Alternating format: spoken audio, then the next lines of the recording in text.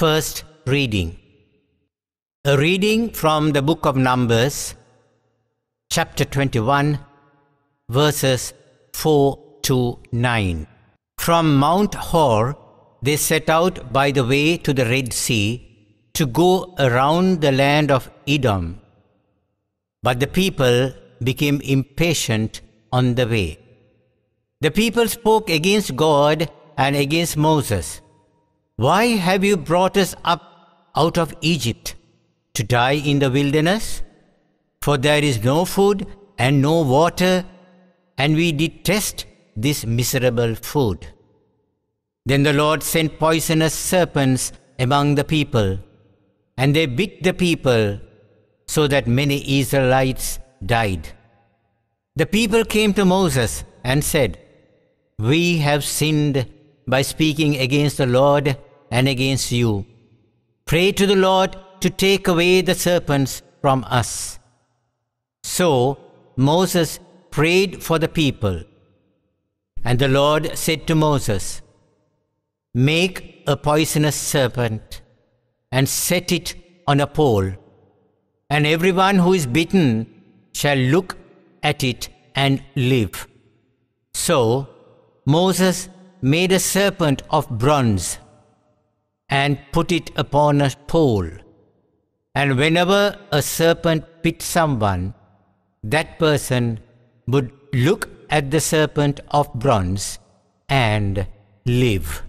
The word of the Lord. Second reading. A reading from the letter of St. Paul to Philippians, chapter 2, verse 6 to 11. Who, though he was in the form of God, did not regard equality with God as something to be exploited, but emptied himself, taking the form of a slave, being born in human likeness. And being found in human form, he humbled himself and became obedient to the point of death, even death on a cross. Therefore, God also highly exalted him and gave him the name that is above every name, so that at the name of Jesus every knee should bend, in heaven and on earth and under the earth, and every tongue should confess that Jesus Christ is Lord, to the glory of God the Father. The word of the Lord.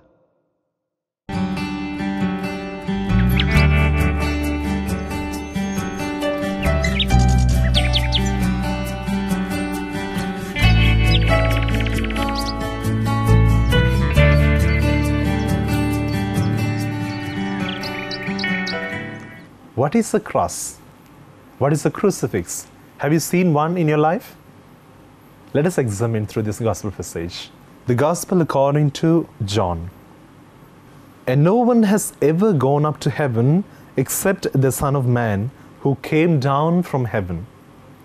As Moses lifted up the bronze snake on a pole in the desert, in the same way, the Son of Man must be lifted up, so that everyone who believes in him may have eternal life.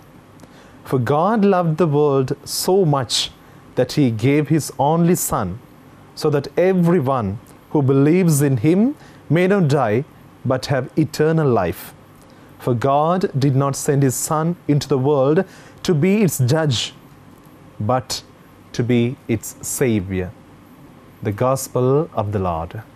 Dear friends in Jesus Christ, Today, we celebrate the feast of the exaltation of the cross. Have you seen cross in your life? We might have seen cross in our rooms, or we might be uh, having in our rings, or we might be wearing in our neck, or we might have seen in the church. It's very easy to make. It's only two beams, one horizontal and the other one is vertical. We might have seen cross in everyday life, but have we ever meditated what this cross means or what this simple structure means.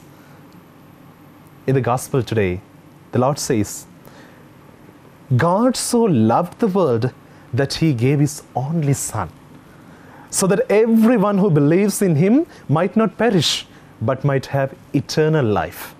In John 3:16. So God becomes man, it's horizontal. And St. Irenaeus says, God became man so that the man can become divine. So it's the horizontal relationship, the incarnation. And uh, the horizontal line is my relationship with my Father, my God. And the other one is the vertical line. When I say vertical, the second reading today says, the letter to the Philippians, God emptied himself, Jesus emptied himself, taking the form of a slave, coming in human likeness. And found in human appearance, he humbled himself, becoming obedient to death, even death on a cross. So he participated in our humanity, so this is vertical. And the whole Ten Commandments can be summarized in this cross. The first three commandments, my relationship with my God, the horizontal line. And the remaining seven, my relationship with my neighbor, the vertical line.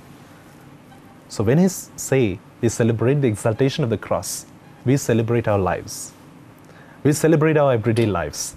So, my dear friends, we can't have or we can't make one cross only with horizontal line or only with vertical line, but we have to have both.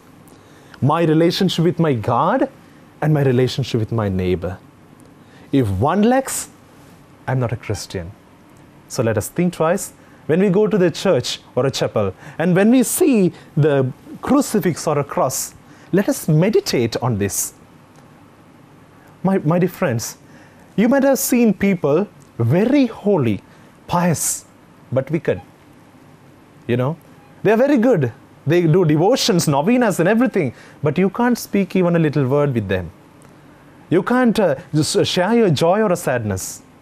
So you can't have your, the relationship with God and you and hating your brother. No, it's not a Christian life. And in the same way, you might have seen some people who are very good. they'll help the poor and do very, very good. But they say, I don't need God. So only relationship with my neighbor without having relationship with my God. So only vertical won't do. So we have to have both so that we may become a good Christian, a, a good follower of Jesus Christ. And when I have these two, look at the crucifix. And when I have these two, I become a Christian, and so that I can say that I celebrate this cross in my life. So, happy feast. God bless you.